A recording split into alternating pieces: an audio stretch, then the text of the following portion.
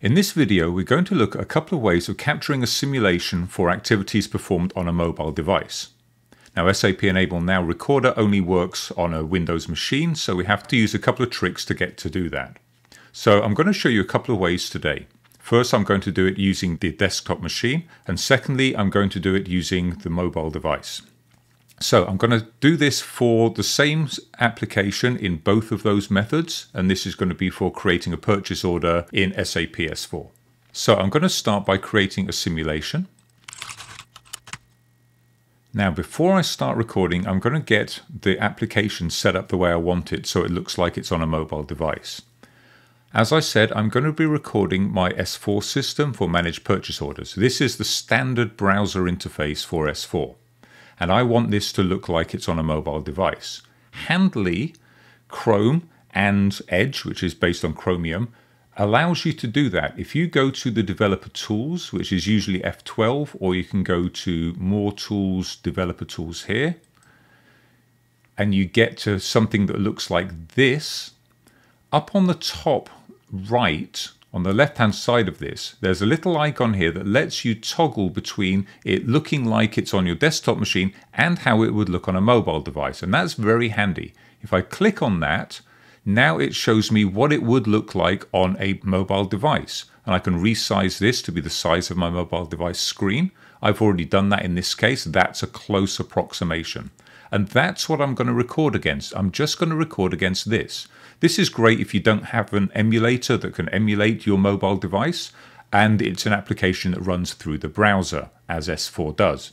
So I'm going to record against that. So that's set up more or less the way I want it. And I can see in here exactly what those dimensions are. Say I really want it to be an exact 380 by 800. Let's say we go with that. Now, one thing to watch out for is when you record in Enable Now, it's going to shrink the browser window so it's got space to put the toolbar across the top, the recording bar. So what you need to do is make sure that this window here is not full screen and it's not going into that area where it's going to want to put that recording toolbar, which is I think 28 pixels or something like that. So I'm going to drop this down to windowed and I'm going to move it somewhere off there. I just need to make sure that the top of this is cleared of where the recording bar will be. And then obviously I need to make the bottom a little bit bigger here. Let's see how big I can get this. Let's see about here. That's close enough because I just want to get to the bottom of there. So that's going to work for me now. So this is now set up the way I want to record it. So back in Enable Now, I can click Record. I can choose that application. Now, a couple of things here. On the profile, I've tried a few of the different profiles. It doesn't really seem to make much of a difference. I tried using UI5 because it really is UI5, but that didn't really help me much. WebView2 didn't help much, so I'm just going to leave it as generic web application. And I'm going to click continue. And here is a couple of other things you need to watch out for. By default, in my settings at least, I've got region, which I want, but I've also got fit application window here, which I don't want. So I'm going to deselect that because I want my recording area to be something different. I need to move my application back to where I had it before it handily resized it for me. And this box here, I need to make sure this is exactly around the area that I want to record. So around about there, drag all of those boundaries in. Actually, I think it needs to be about there. So let me drag that in here. That's going to be about there and that one's close as well so about here. Okay that's good enough. That's close. That's the exact area it's going to re record. Get it as close as you can. Uh, make sure fit application window is not selected region is selected and then get it as close to however you want it as you can. Actually I'm going to have to move this down a bit to make sure I'm not in my recorder toolbar area. So we were about there. Okay let's go with that. That looks good so now I click record. And as always, it's going to grey out the bits it's not recording, which leaves me with just what is effectively my mobile device window running here. And now I can perform the activities that I need to. You may find that you need to adjust the browser window here to get to exactly where you want to start recording from. But let's assume that I'm now at that place and I want to create my new purchase order. So here I just perform the actions in the system. This is my cursor here. and this is as if I was pressing it with my finger. That's why the, the cursor looks a little different here. So I'm going to click on the ellipsis here, create. I'm just going to perform a few simple steps and then we'll see what that gives us in our recording. So here I'm going to go to supplier,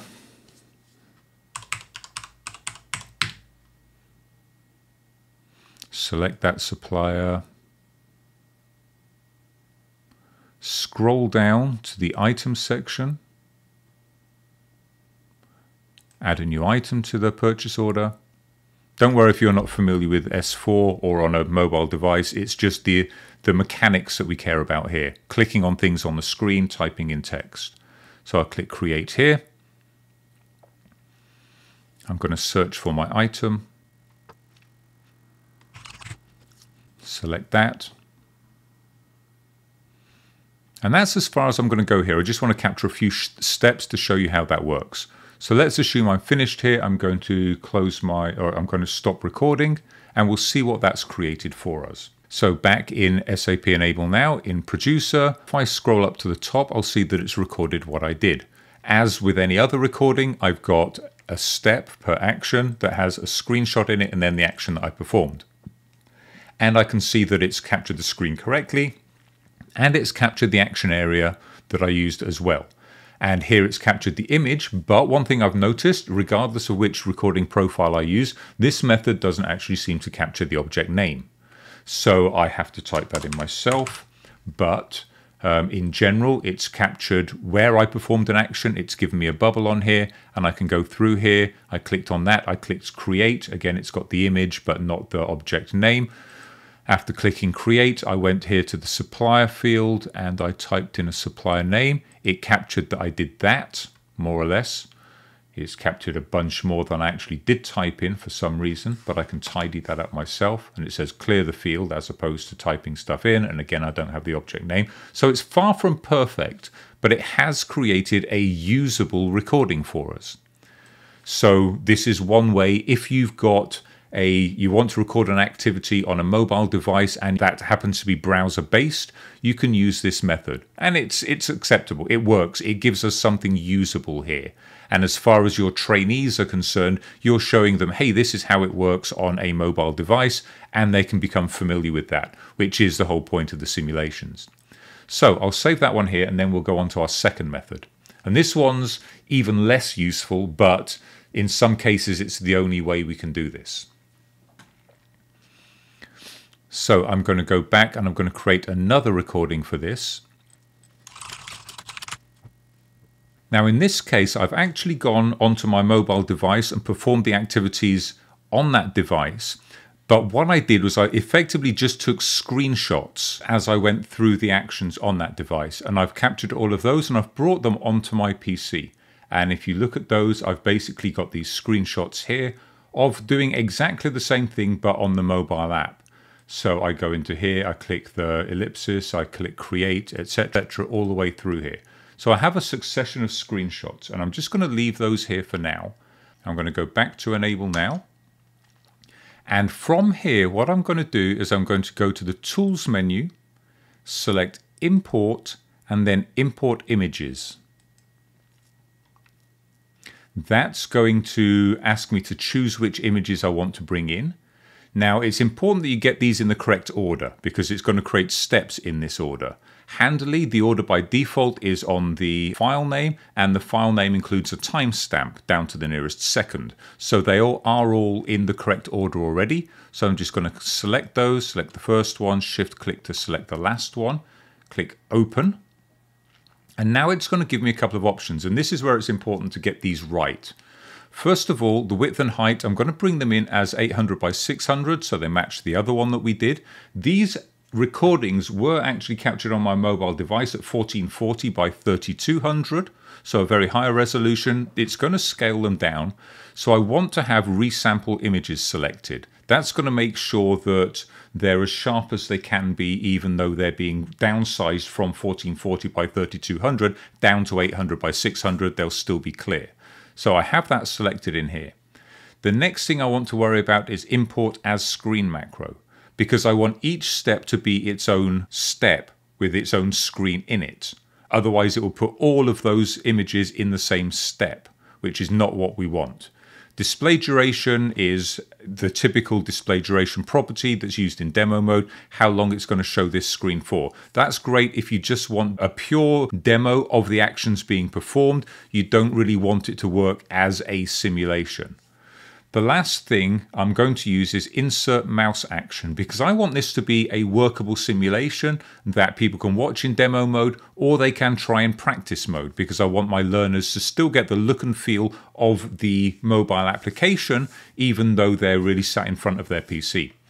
So I'm going to select insert mouse action. So with these settings here, I click OK and that will go and bring all of those images in for me and you can see it's doing that down the right hand the left hand side already and it brings in all of those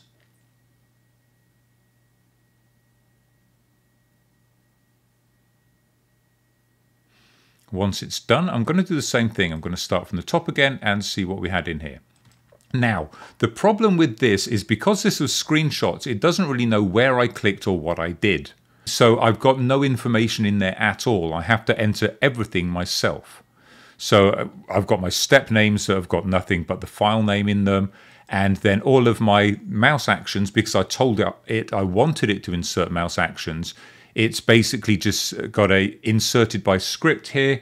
It's a left click action and it gives me an action area, but that's all I've got. If I zoom in a bit here so I can see it a bit better, I've got my action area and I've got a bubble for it. And what I want to do or what I have to do is I basically have to drag that to where I want it to be. So here I clicked on the ellipsis, so I'm going to drag that down to here.